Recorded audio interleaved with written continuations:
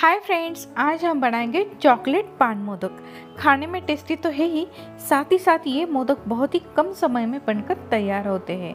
तो इस गणपति के त्यौहार पे आप इन मोदक को ज़रूर बना के देखिए।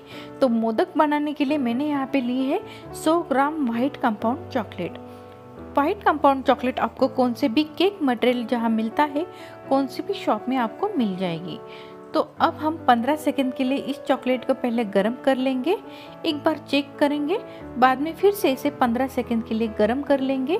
एक साथ हम इसे 30 सेकंड के लिए गर्म बिल्कुल नहीं करेंगे। 15-15 सेकंड के लिए हम इसे गर्म कर लेंगे।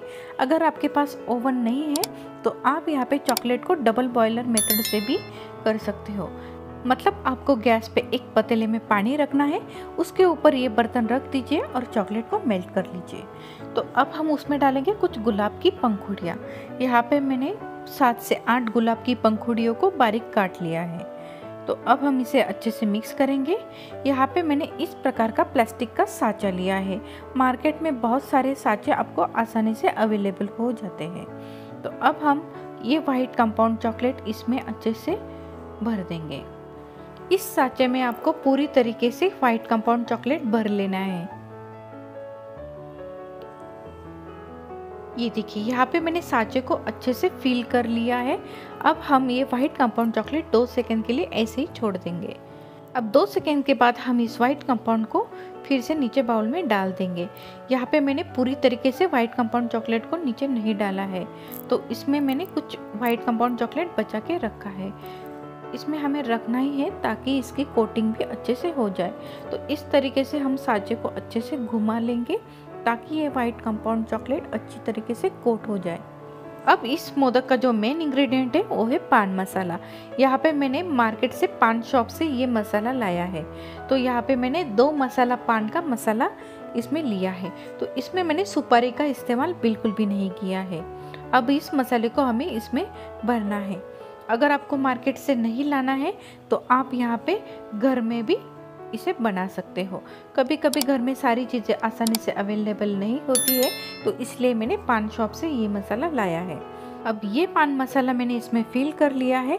अब हम ऊपर से फिर से वाइट कंपाउंड चॉकलेट डाल देंगे, ताकि ये मोदक अच्छे से सील हो जाए। ये देखिए, यहाँ पे हम पूरी तरीके से इसमें भर देंगे। बिल्कुल इस तरीके से। अब हमें ऊपर से सारी चॉकलेट को हटाना है। अब ये मोल्ड अच्छे से फिल हो चुका है। अब हम इसे कुछ इस तरीके का छोटा बाउल लेंगे, जिसमें ये साँचा आसानी से खड़ा हो सके। तो अब हमें इसे फ्रीज़र में 15 मिनट के लिए छोड़ देना है, ताकि ये अच्छे से सेट हो जाए। इसी प्रकार से हम सारे साँचों को भर लेंगे। मैं यहाँ पे और एक साँचा आपको भर के दिखाती हूँ। कुछ इस प्रकार से हम वाइट कंपाउंड चॉकलेट उसमें चम्मच की मदद से डाल देंगे। अब हम इसमें से चॉकलेट निकाल लेंगे।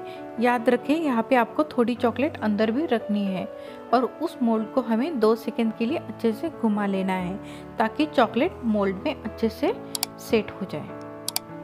घुमाने के बाद हम उसमें पान मसाला फिल कर लेंगे। अगर आपको मेरी रेसिपी अच्छी लगे तो मेरी रेसिपी को लाइक ज़रूर कीजिए और ज़्यादा से ज़्यादा अपने फ्रेंड्स में शेयर कीजिए। तो इस त्यौहार पे आप ये पान चॉकलेट मोदक ज़रूर बना के देखिए। आपको ये रेसिपी ज़रूर पसंद आएगी। आपको तो आएगी ही, गणपति पप्पा को भी ये रेसिपी बहुत ही ज़्यादा पसंद आएगी। तो अब ये मोदक हम 15 मिनट के लिए अच्छे से सेट कर लेंगे। तो 15 मिनट के बाद हम चेक करेंगे।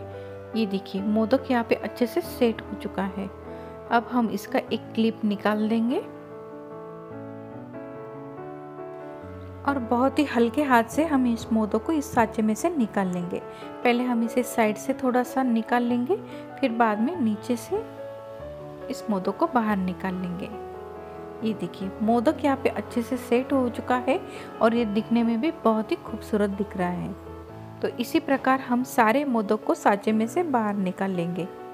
मैं आपको यहाँ पे दूसरा वाला भी मोदक निकाल के बताती हूँ। ये देखिए बहुत ही जल्दी ये मोदक बनकर तैयार होते हैं और खाने में भी बहुत ही ज़्यादा टेस्टी और रिफ्रेशिंग लगते हैं। ये देखिए, दिखने में भी बहुत ही सुंदर दिखे हैं। तो इस त्यौहार में आप ये मोदक ज़रूर बना के देखिए और मुझे कमेंट सेक्शन में बताइए आपको ये रेसिपी कैसी लगी। मेरी रेसिपी देखने के लिए धन्यवाद।